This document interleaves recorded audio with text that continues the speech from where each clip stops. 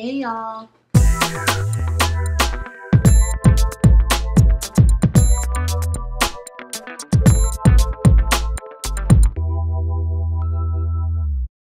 Welcome back to my channel. If this is your first time visiting, welcome.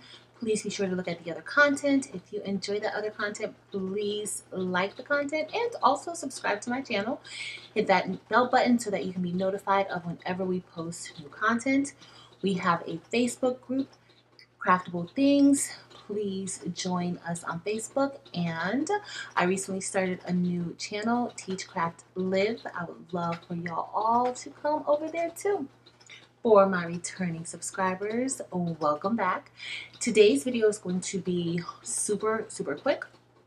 So I was in Michael's and I will have a haul video posted on Teach Craft Live.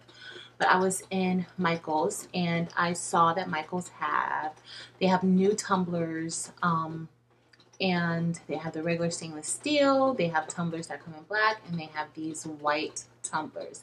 So for my vinyl epoxy crew, they have new things for you. But for this one, I just want to test this out and see if we can actually sublimate onto this cup. Uh, I tried to look at the details about the cup, but it didn't really tell us.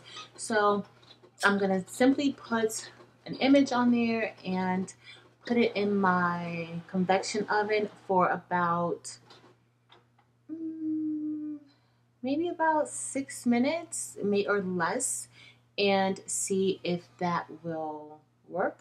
Um, I will look at it just to make sure, just to see if that image comes through, but I'm hoping that it works. Who knows? We won't know unless we try it out. So let's get started, y'all. So I'm just going to put this image on here. I should have curved it because this cup is tapered. However, I, I just want to test it out. If this does not work, I am going to glitter and epoxy this baby. Okay, so we are just going to tape it down with some heat tape. Typically, I would put shrink wrap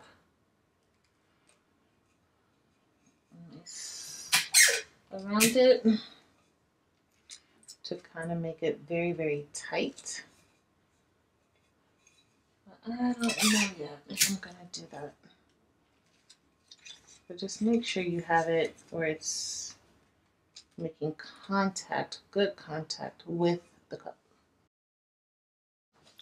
So I am going to quickly heat wrap this and we're going to place it into the oven and see if it works. Alright guys, so I almost forgot to start recording, but we are going to remove the shrink wrap from here. You can see the logo faintly through, um, but I don't know if it's just because the paper is kind of thin and you can see it. So we will see now. I baked this for six minutes inside of the convection oven. All right, so we will see. Let's see. Oh.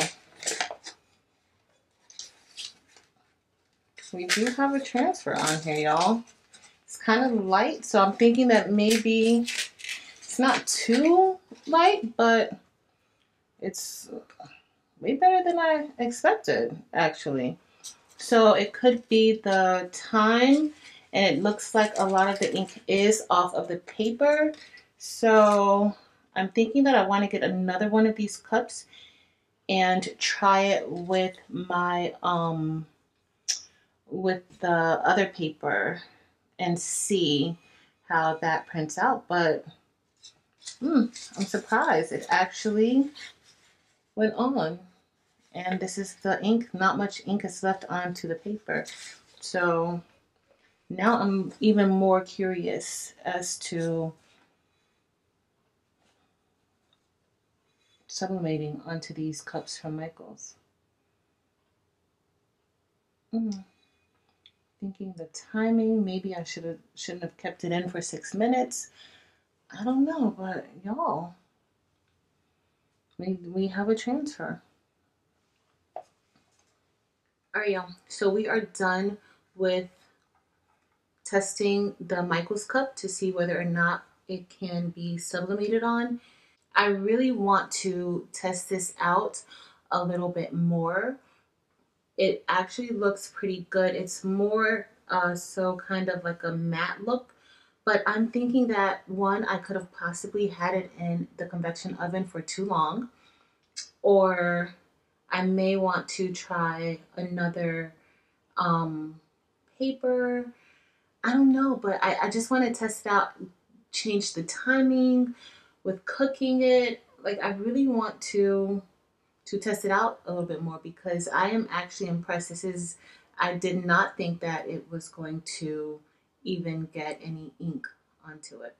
I put this in the convection oven for about six minutes at 400 degrees and I am going to probably get a few more of these cups just to test it out to see.